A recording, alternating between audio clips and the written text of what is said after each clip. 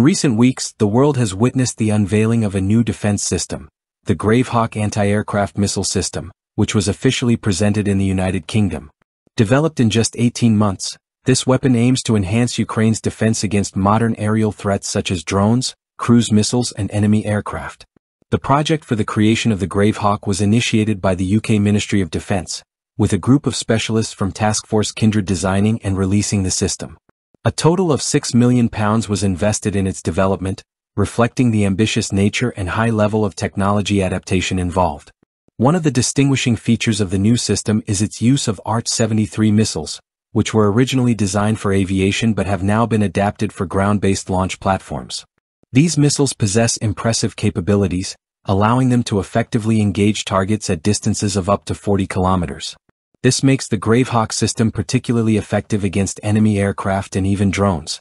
Gravehawk stands out for its high mobility and stealthiness.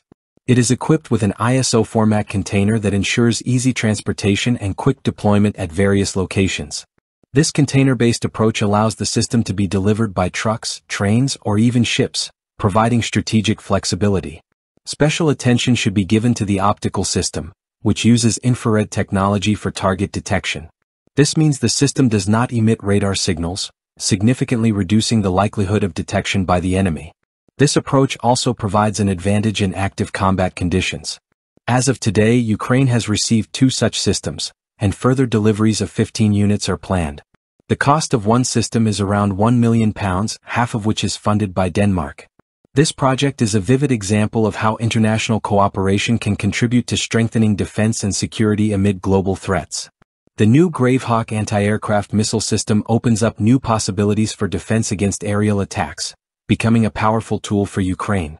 Its rapid deployment and features such as high mobility, stealth, and effective weaponry demonstrate significant progress in defense technologies and international support in times of crisis.